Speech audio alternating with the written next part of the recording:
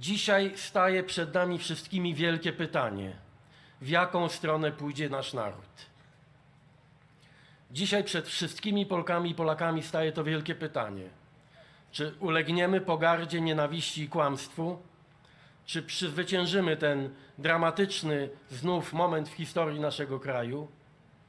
I czy to dziedzictwo Pawła Adamowicza, bo przecież mamy prawo mówić o tym wielkim dziedzictwie Pawła Adamowicza, okaże się silniejsze od zła, które rozpleniło się w ostatnich latach w naszej ojczyźnie.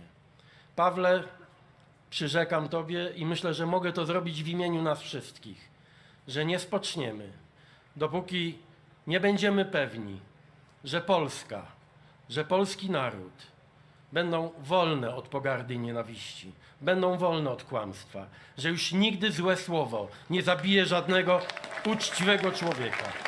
Przyrzekamy Tobie to.